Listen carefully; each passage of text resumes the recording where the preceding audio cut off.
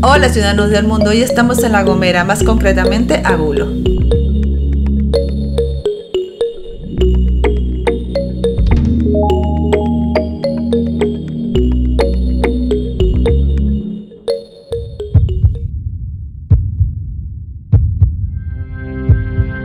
Ciudadanos, ahora nos vamos a acercar a lo que sería el pescante de Agulo. Se utilizó mucho hace ya unos siglos atrás para eh, descargar y subir mercancía. Son los dos pilares lo que quedan ahí debajo. Vamos a llegar hasta esa caseta unos 18-20 minutos. No es tan conocido como el de Hermigua, que ya veremos a continuación, pero también tuvo una gran funcionalidad en esa época. Así que vamos a comenzar a bajar hasta llegar abajo. Síguenos. Lo primero que tenemos que saber que es un pescante. En náutica el pescante es un dispositivo que se utiliza para izar mercancía a bordo de un barco.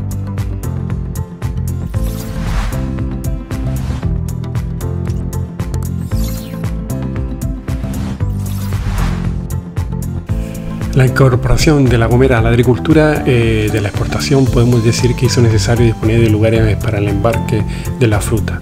Lo escarpado de la costa y las características del mar hicieron que se optase por construir pescantes en la costa norte, que es donde estamos ahora, y llegaron a ver hasta tres. Los pescantes son estructuras con apoyos que se internan en el mar, como podemos ver esas dos columnas al principio que ahora veremos más de cerca, finalizando como una especie de voladizo que permite la descarga sobre las embarcaciones, muchas veces en falúas, ya que los barcos grandes no podían llegar a la orilla.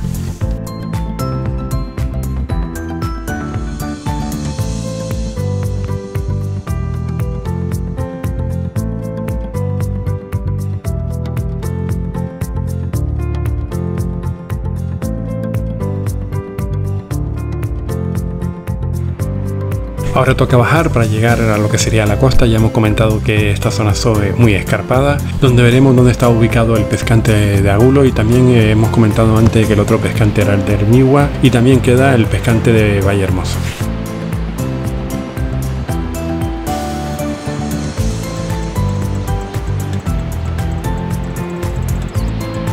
Cuando viajamos nos gusta investigar en la historia de los lugares que visitamos y en este caso nos llamó mucho la atención esta gran obra de ingeniería tenemos que situarnos y en esa época debemos decir que no existía la maquinaria que tenemos en la actualidad. Así que en 1908 finalizaron las obras del pescante de Agulo, una obra que significó un revulsivo económico para el municipio, que fue inaugurado tres años después para responder a las necesidades de un pueblo que contaba ya con la primera línea telefónica de la isla.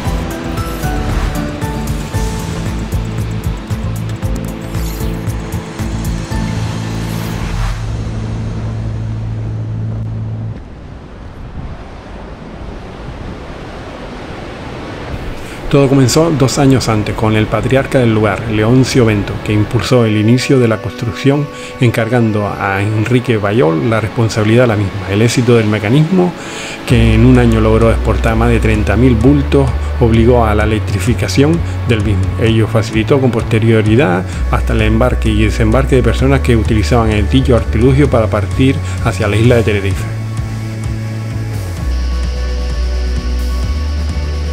Durante nuestra visita no pudimos llegar a la parte delantera donde se encontraban las columnas ya que unos meses antes había habido un derrumbe de la zona que sepultó todo lo que era el camino, por ese motivo no pudimos cruzar.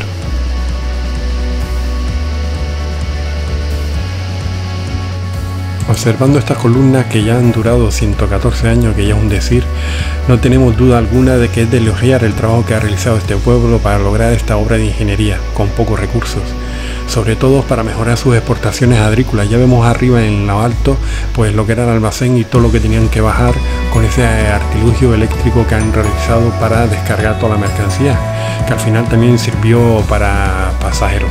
Tenemos que decir que todo esto ha repercutido en su momento de forma positiva en la economía del municipio y de la isla.